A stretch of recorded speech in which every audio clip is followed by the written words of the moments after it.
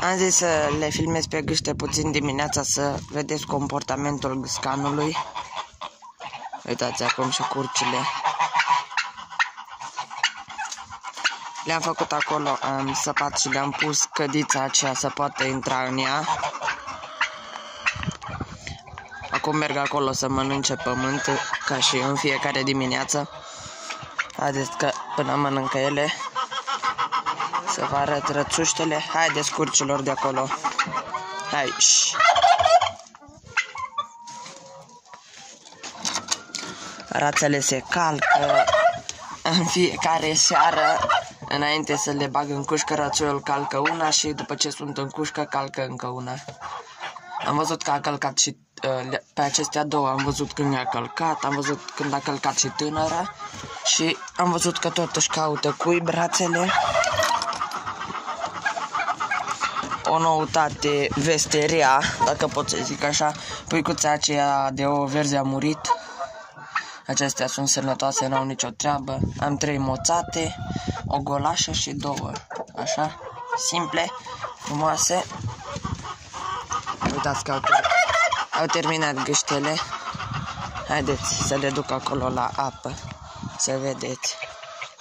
Uitați, nu este frică de mine. Că el cred că ar vrea să mă muște.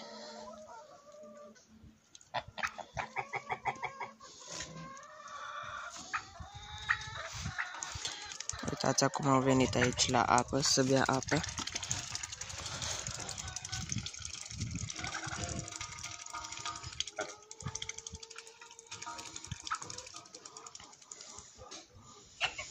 Am zis să le filmez să vedeți comportamentul lui și al gâștelor de fapt.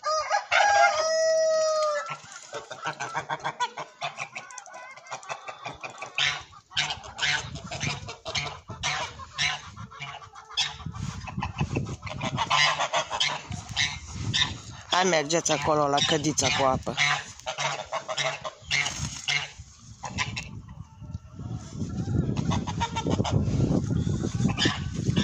Hai.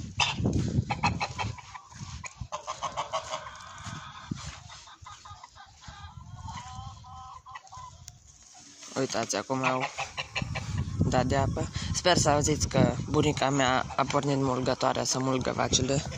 Merg și eu să o ajut imediat. Dar n-am ce să vă arăt, că nu cred că o să intre în apă. Am zis să fac doar așa, să-i vedeți comportamentul lui. Și da, o să opresc aici videoul, că îmi îngheață mâna pe telefon. Acesta am fost eu până data viitoare. La revedere!